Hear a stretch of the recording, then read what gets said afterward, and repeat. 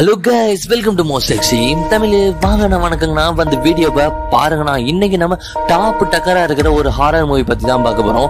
எப்பவுமே top three top five list போட்டுக்கிட்டே போவோம். ஆனா இன்னைக்கு ஒன் அண்ட் ஒன் அதுவும் சூப்பர் ஒன்னான ஒரு மூவி தான். மூவியோட பேர் தான் midnight movie midnight மூவியா அப்ப ராத்திரி மட்டும் தான் பார்க்கணுமோ? அப்படிலாம் கிடையாது.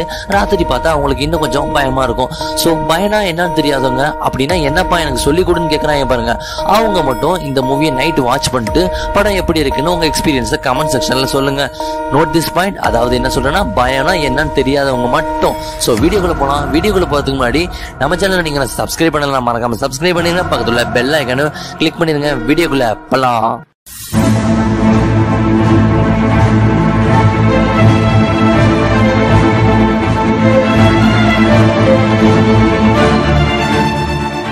உங்களுக்கு பிடிச்ச கடவுளை வேண்டிக்கிட்டு இந்த படத்தோட ஸ்டோரியை கேளுங்க. படத்தோட ஸ்டார்டிங்லயே ஒரு வயசானால ரெண்டு டாக்டர் பிடிச்சி கூட்டிட்டு வராங்க. என்னடா இது கதையே இப்படி ஸ்லோவா ஆரம்பிக்குதேன்னு பார்க்கும்போது தான் இந்த வயசான ஆளு பேர் தான் டெட் தான். ஸோ இந்த ரெண்டு டாக்டருமே சைக்காட்டிஸ்ட் அப்ப இந்த ஆளு மென்டலா ஸோ இவனை இழுத்துட்டு வந்து ஒரு தேட்டர் மாதிரி இருக்கிற ரூம்ல அடைச்சு தம்பி இப்போ ஒரு படம் போட்டு காமிக்க போறோம். அதை நல்லா உத்து பாருங்கிறாங்க. ஏன்னா இந்த ஆள் வந்து ஒரு டேரக்டரா இருந்திருக்கான். ஸோ அதுக்கப்புறம் தான் மென்டல் ஆயிருக்கான் போலக்கு பாவம் கதையை யோசிச்சு யோசிச்சு மென்டல் ஆயிட்டான் போல இருக்கு அப்புறம் ரெண்டு டாக்டரும் ரூமை பூட்டிட்டு வெளியே வந்துடுறாங்க. வெளியே வந்து தம்பி அங்க கிளம்பன உட்கார வச்சிருக்கேன் பாத்துக்கன்றாங்க. சார் எதுக்கு சார் அந்த படத்தை போய் அவனுக்கு போட்டு விட்டீங்க? ஐயோ அது டெரரான மூவியாச்சே இவன் வேற டெரரான ஒரு ஆளாச்சே. என்ன ஆக போதும் யோசிச்சுக்கிட்டே இருக்கிறப்ப ஏதோ ஒரு பயங்கரமான சத்தம் கேக்குது. எல்லாமே போய் ஓடி போய் பாக்குறாங்க. உள்ளே ஒரு ரத்த கலவையா இருக்கு. அப்புறம் தெரியுது அந்த ஆள் கை காலெல்லாம் கடிச்சுக்கிட்டு ஏதோ விசித்திரமா பண்ணி அங்கிருந்து தப்பிச்சு போயிருக்கான். அட பாவிகளா தேவையில்லாத வேலையை பார்த்துட்டீங்களேடா.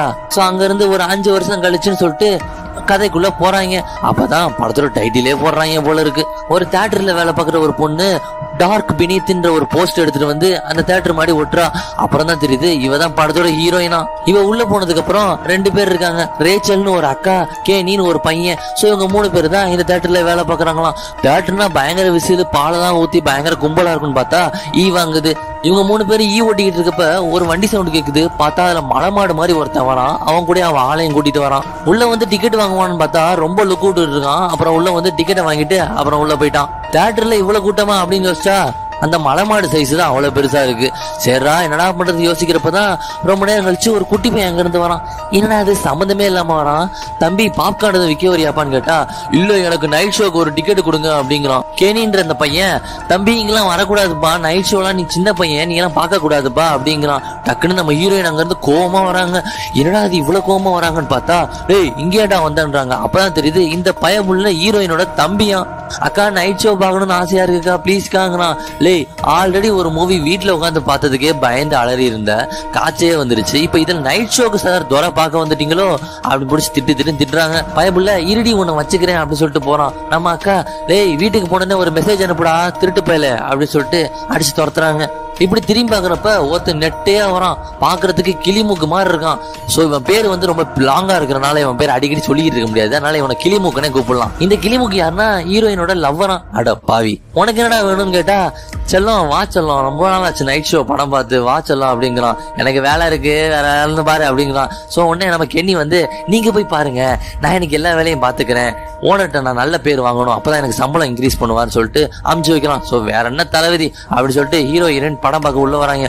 சரி உள்ளேயாவது கூட்டமா இருக்குன்னு பார்த்தா மலை மாடு மட்டும்தான் உட்காந்துருக்கான் அவனோட அவன் ஆள் உட்காந்துருக்கான் சியோ என்ன பண்றதுன்னு தெரியாம இவங்க ரெண்டு பேரும் போய் உட்காந்துக்கிறாங்க கொஞ்ச நேரம் கழிச்சு ரெண்டு பேர் வராங்க. அவங்க யாருன்னா நம்ம ஹீரோ ஹீரோயினோட ஃப்ரெண்ட்ஸ் தானா?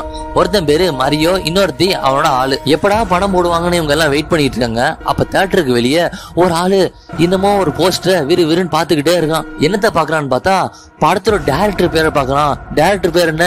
டெட்டு நம்ம ஸ்டார்டிங் சீன்ல ஒரு மென்டல் பேஷண்ட்டை பார்த்தோம் பார்த்தீங்களா?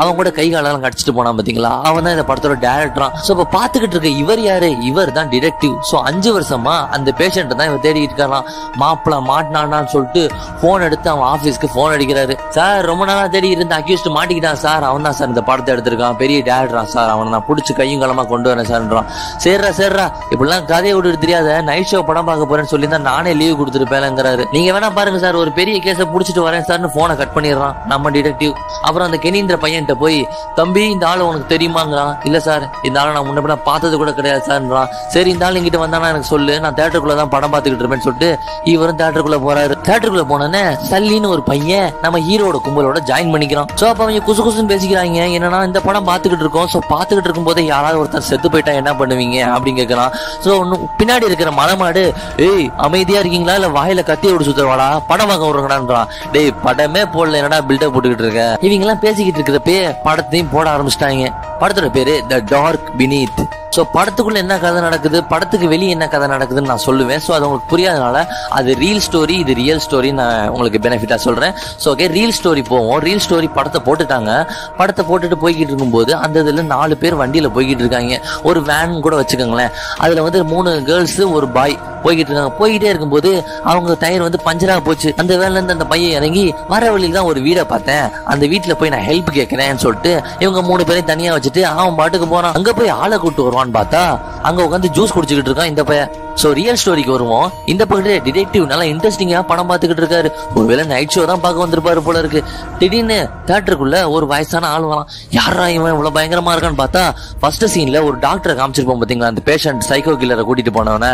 சோ அந்த பேஷண்டோட டாக்டர் தான் இப்போ வந்திருக்கான். இந்த டாக்டர் வந்து டேய் உன்னை எங்கேயோ பார்த்துருக்கேனேன்றாரு சார் என்ன எங்கேயும் பார்த்துருக்க மாட்டீங்க. நான் தான் ஒரு ஃபேமஸான டாக்டர் சார் உட்காருங்க. நான் உங்கள்ட்ட கொஞ்சம் விஷயம் பேசணும் அப்படிங்கிறான். என்ன விஷயம் என்னன்றான் அதாவது இந்த படத்தை வந்து அந்த டெட்ன்ற ஒரு ஆளு தான் எடுத்தான். அந்த ஆளை தான் நானும் தேடிக்கிட்டு இருக்கேன் நீங்களும் தேடிக்கிட்டு இருக்கீங்கிறாங்க அவன் காணாம போய் அஞ்சு வருஷம் கழிச்சு தான் இந்த படத்தை ரிலீஸ் பண்ணிருக்காங்க ஸோ ஃபர்ஸ்ட் ஷோ பார்க்க அந்த ஆள் நிச்சயமா இங்க வந்தாகணும். ஸோ அவனை கையும் காலமா பிடிச்சி போ உள்ள போட்டுருவோம் அப்படின்னு ரெண்டு பேரும் இதை ஜாலியா பேசிக்கிட்டு இருக்காங்க. அப்புறம் ரீல் ஸ்டோரிக்குள்ள போவோம். அந்த கார் பஞ்சர் ஆயிடுச்சுன்னு சொல்லிட்டு அந்த பையன் அந்த ஒரு வீட்டில் ஹெல்ப் கேட்க போனான் பாருங்க. ஜூஸையும் நல்லா குடி குடியும் குடிச்சிட்டு இருக்கான் பாருங்க. அவனுக்கு என்ன ஆகுது தெரியுமா? ஸோ அந்த அம்மாக்காரி ஜூஸை கொடுத்துட்டு அவன் பாட்டுக்கு உள்ள போயிட்டா. இவன் வந்து என்னடா ஆளை காணாமன்னு உள்ள போய் தேடிட்டு போறான். அடுத்த வீட்டுக்குள்ள அனுமதி இல்லாம இவன் உள்ள போறானே? இவனுக்கு எவ்வளவு திமிடா இருக்கும். ஸோ இவன் உள்ள போனதுக்கு அப்புறம் ஒரு கதவை திறந்து பார்த்தா ஏதோ சவுண்டு கேக்குது. என்னன்னு பார்த்தா ஒரு பயங்கரமான மாஸ்க் போட்ட ஒரு ஆளு பயங்கரமான ஒரு கத்தியை வச்சுக்கிட்டு இவனை ஓங்கி ஒரே குத்து.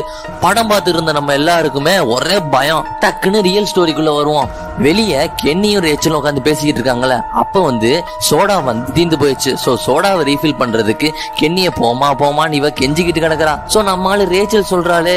சரி போய் இந்த சோடாவை ஃபில் பண்ணிட்டு வருவோம்னு இவனும் கிளம்பி போறான். இவன் கிளம்பி போய்கிட்டு இருக்கான். டக்குன்னு ரீல் ஸ்டோரிக்குள்ள இவன் வந்துடுறான். அப்பதான் அங்க புரியுது வெளியே நடக்கிறதெல்லாம் ரீலுக்குள்ளே நடந்துகிட்டு இருக்கு. படம் பார்த்துக்கிட்டு இருக்கவங்க என்ன இவன் நம்ம கென்னி மாதிரியே இருக்கானே? படத்துல எப்படி இவன் நடிச்சான்? அப்படின்னு சொல்லிட்டு ஒரு குழப்பத்திலே இருக்காங்க. பார்த்தா அதே மாதிரி சைக்கோ கில்லர் கென்னியையும் ஒரே குத்து குத்திடுறான். ரியல் ஸ்டோரியில வெளியே பார்த்தா ரியல் ஸ்டோரியில அவன் செத்து கிடக்குறான். இந்த பயபிள்ளைங்க அது கூட தெரியாம ஜாலியா படம் பார்த்துக்கிட்டு இருக்காங்க. மச்சான் கென்னி உன் ஆக்டிங் வேற லெவல்ரா அப்படின்லாம் சொல்லி கத்திக்கிட்டு கிடக்குறாங்க. அப்பதான் நம்ம டிடெக்டிவும் அந்த டாக்டரும் பேசிக்கிட்டு இருக்காங்க. நான் தேடிக்கிட்டு இருந்தேன் அந்த டெட் ப்ராஃபர்ன்றவன் அவன் வந்து ஒரு சைக்கோ கில்லரான் சின்ன வயசுல இருந்து மத்தவங்கள பயமுடுத்தி பயமுடுத்தி அவன் சந்தோஷப்பட்டுக்கிட்டு இருந்தானா. ஒரு நாள் அதுவே முத்தி போய் ஒரு பெரிய படமா எடுப்போம். அந்த படம் படத்து வழியா எல்லாருமே பயமுடுத்துவோம் கதர் அடிப்போம் அப்படின்னு சொல்லிட்டு அவனுக்கு ஒரு ஆசையம் அதனாலதான் இந்த படத்தை எடுத்து வச்சிருக்கானா? பயப்புள்ள சோ அந்த சல்லின்னு ஒருத்தனை சொல்லியிருந்தோம் பாத்தீங்களா? புதுசா வந்து ஜாயின் பண்ணவன். அவன் பாப்கான அது லொட்டு லொசுக்குன்னு பிடிச்சி வெளு வெளு வெளுத்து தின்னு போட்டு வைத்த கலக்குன்னு சொல்லிட்டு புலம்பிக்கிட்டு இருந்தான். எக்ஸ்கியூஸ் மீ நான் கொஞ்சம் பாத்ரூம் போயிட்டு வரேன்னு சொல்லிட்டு இவன் கிளம்புறான். வெளியே பாத்ரூமுக்கு போனவனா அப்படியே ரீலுக்குள்ள காமிக்கிறாங்க. நம்ம ஹீரோயினுக்கு டவுட் வந்துருச்சு. என்னடா இவன் இப்பதானே பக்கத்துல இருந்து கிளம்பி போனான்? டக்குன்னு எப்படா ரீலுக்குள்ள வந்தான்? அப்படின்னு சொல்லிட்டு அவங்களுக்கு ஒரு டவுட் அவங்களுக்கு தான் தெரியாது. வெளியில் நடக்கிற தான் உள்ள நடக்குதுன்னு. வெளியே பாத்ரூம் போன நம்ம மாப்பிளைய அந்த சைக்கோ கொலகாரம் ஒரே குத்து. பயபுள்ள அங்கேயே காலி. இதுவும் தெரியாம பயபுள்ளைங்க சிரிச்சுக்கிட்டு இருக்கேன் மாப்பிள்ள சல்லி எப்படா படத்துக்குள்ளலாம் போன? செம்ம லெவல்ற அவன் ஆக்டிங் வேற லெவலான்னு சொல்லி கத்திக்கிட்டு கிடக்குறாங்க. வெளியே வந்து கென்னி வந்து ரொம்ப போய் ரொம்ப நேரம் ஆச்சு. என்ன ஆயிருக்குன்னு சொல்லிட்டு நம்ம ரேச்சல் மேடம் அவனை தேடி போய்கிட்டு இருக்காங்க. போய்கிட்டு இருக்கும்போது ஒரே ரத்தமா கிடக்கு. என்னடா பண்ணி வச்சிருக்கீங்கன்னு யோசிக்கும் போது டக்குன்னு ரீல் ஸ்டோரிக்குள்ள வரும். ரீல் ஸ்டோரியிலையும் ரேச்சல் உள்ள போய்கிட்டு இருக்காங்க.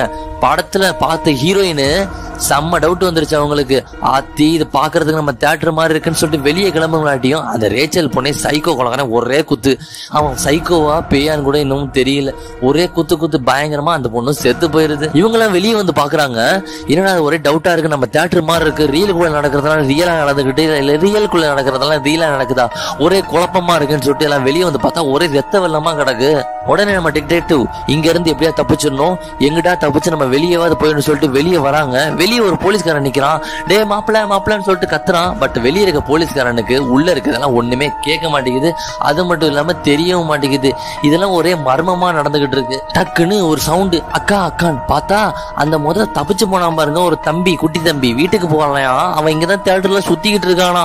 டேய் என்னடா அவனை வீட்டுக்கு போக சொன்னேனடா அப்படின்னு நம்ம அக்கா காரி கேட்கறா அதுக்கு அந்த பையன் நான் சும்மா தான் உனக்கு மெசேஜ் அனுப்புனேன். நான் வீட்டுக்கெல்லாம் போல இங்கதான் சுத்திக்கிட்டு இருந்தேன். மறுபடியும் வீட்டுக்குள்ள தேட்டருக்குள்ள மறுபடியும் உள்ள வந்துட்டேன் அப்படிங்கிறான். எப்படா வந்த எப்படா வந்தேன் கேட்குறாங்க நான் மேலே ஒரு ஜன்னலில் வழி இருந்துச்சு ஸோ அந்த வழியாக வந்துட்டேன். அது வழியாக நம்ம எல்லாம் தப்பிச்சிடலாம்னு சொல்கிறோம் ஸோ நம்ம டிடெக்டிவ் எல்லாம் ஒன்றா இருங்க.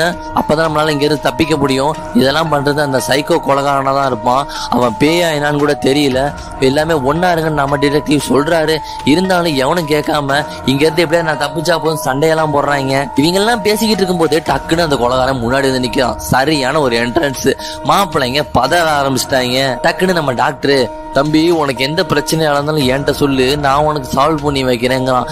பிரச்சனையே நீ அப்படின்னு சொல்லிட்டு பிடிச்சி கழுத்து அறுத்து போட்டுடுறான். ஸோ அந்த இடத்துல டாக்டர் மட்டையா போட்டுடுறான். அப்புறம் எல்லாம் தனித்தனியா கத்திக்கிட்டே ஓட ஆரம்பிச்சிடுறாங்க. அப்புறம் தான் டிரெக்டிவ் ஒரு பிளான் சொல்றாரு.